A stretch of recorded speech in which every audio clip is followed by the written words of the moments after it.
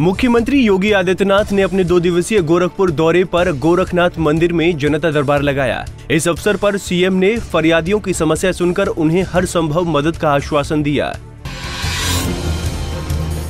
राजधानी के लखनऊ स्थित पुलिस लाइन में डीजीपी ने पुलिस सप्ताह का शुभारंभ किया, जहाँ डीजीपी ओपी सिंह परेड की सलामी ली। इस अवसर पर सड़सठ पुलिसकर्मियों को भी सम्मानित किया गया।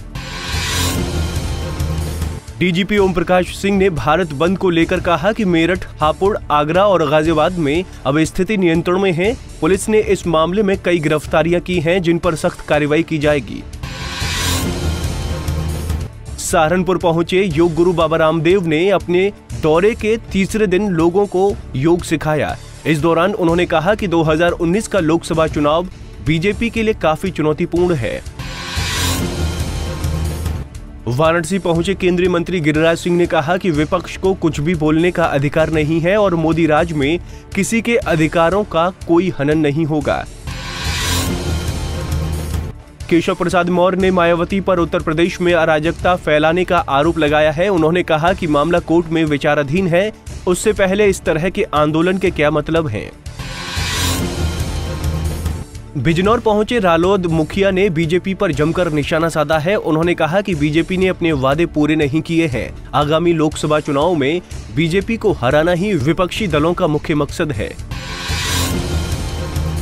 रालोद मुखिया अजीत सिंह ने कहा कि कैराना लोकसभा के उपचुनाव लड़ने पर विचार किया जाएगा, लेकिन बीजेपी से गठबंधन किसी भी कीमत पर नहीं करूँगा।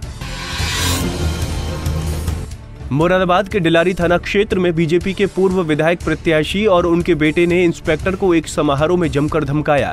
बीजेपी नेता के बेटे ने इंस्पेक्टर सहित आला अधिकारियों की टोपी नीचे करने की धमकी दी। मेरठ हिंसा में शामिल, बीएसपी के पूर्व विधायक योगेश वर्मा को गिरफ़्तार कर लिया गया है। पुलिस ने इस मामले में 200 से ज़्यादा लोगों को भी हिरासत में लिया है।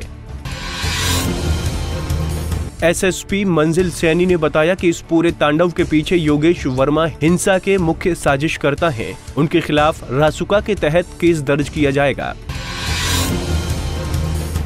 दलित हिंसा के बाद मेरठ और आगरा में अभी हालात सामान्य हैं, लेकिन पुलिस प्रशासन ने सोमवार की घटना को देखते हुए इंटरनेट सेवा बंद कर रखी है और पुलिस ने मामले को लेकर सोशल मीडिया पर भी निगरानी रखी है। हापुड़ में भारत बंद के दौरान हुए उपद्रव के बाद पुलिस ने 10 मुकदमे दर्ज करते हुए 70 लोगों को गिरफ़्तार किया है। वहीं कोतवाली, गढ़मुक्तेश्वर पुलिस ने भी उपद्रवियों पर कड़ी कार्रवाई की है।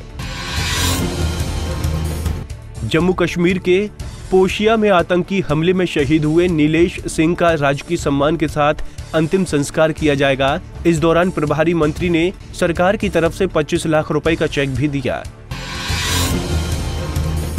मुख्यमंत्री योगी आदित्यनाथ के लखनऊ स्थित आवास के बाहर इंसाफ नहीं मिलने के कारण महिला ने केरोसिन डालकर आत्मदाह की कोशिश की। इस दौरान महिला आग की चपेट में आकर बुरी तरह से झुलस गई है, जिसे इलाज के लिए अस्पताल में भर्ती कराया गया है। बागपत के छपरौली विधानसभा सीट से आरएलडी के निष्कासित विधायक सहेंद्र रमाला के खिलाफ पंचायत ने एक फरमान जारी किया है। पंचायत ने विधायक के खिलाफ फरमान जारी करते हुए कहा कि अगर सहेंद्र रमाला छपरौली में आए तो उनका मुँह काला कर दिया जाएगा। गाजियाबाद के इंदिरापुरम के कनावनी स्लम में भीषण आग लग गई है। इस आग की चपेट में करीब दर्जन भर घर आ गए हैं। फ़िलहाल फायर ब्रिगेड की छह गाड़ियाँ मौजूद हैं, जिसकी मदद से आग पर काबू पाने की कोशिश की जा रही है। हमीरपुर में बाइक सवार प्रेमी युगल ने यमुना नदी में छलांग लगाकर आत्महत्या की कोशिश की है। बताया जा रहा है कि प्रेमी युगल के घर वाले प्रेम प्रसंग को लेकर नाराज़ थे, जिस वजह से उन्होंने खुदकुशी की। जौनपुर में एक किशोरी को बंधक बनाकर सामूहिक दुष्कर्म करने का मामला सामने आया है, जहाँ दो बाइक सवार बदमाशों ने नाबालिग को जबरन उठा लिया और दूर खेत में ले जाकर दुष्कर्म की वारदात को अंजाम दिया। हापुड़ के गढ़मुक्तेश्वर क्षेत्र के गाँव दोतई में पिंजरे में तेंदुए को देखकर ग्रामीणों में अफरा तफरी मच गई। आनंद फानन में ग्रामीणों ने वन विभाग को सूचना दी। विभाग ने तेंदुए को पकड़ लिया और अपने साथ ले गए। Bureau report, Punjab Kesari TV.